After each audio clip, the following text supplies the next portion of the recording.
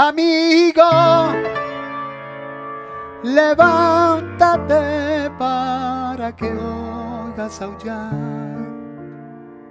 al perro asirio.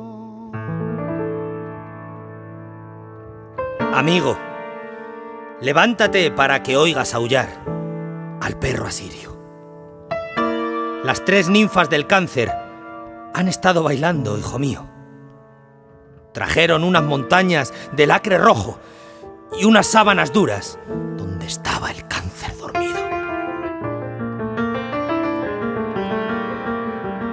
El caballo tenía un ojo en el cuello y la luna estaba en un cielo tan frío que tuvo que desgarrarse su monte de Venus y ahogar en sangre y ceniza los cementerios antiguos.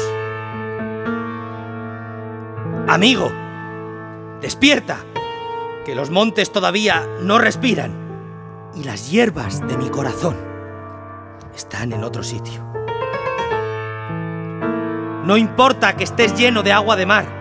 Yo amé mucho tiempo a un niño que tenía una plumilla en la lengua y vivimos cien años dentro de un cuchillo.